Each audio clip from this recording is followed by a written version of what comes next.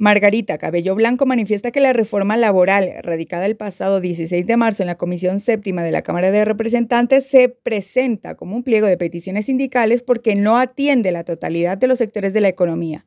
Pareciera que fuera más un pliego de peticiones sindicales que una reforma laboral que beneficie al resto o a la totalidad de los trabajadores informales y los empleados desde todos los lados de nuestro país.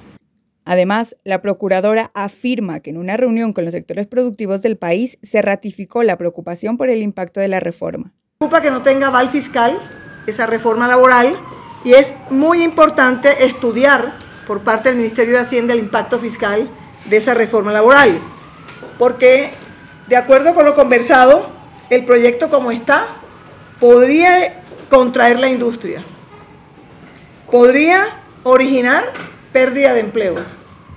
Podría originar incluso reducción en el impacto del IVA y hacer unas afectaciones a la situación económica del país. Por su parte, FECODE cuestiona dichas declaraciones porque carecen de sustento argumentativo al mismo tiempo que reafirman la estigmatización del sector sindical.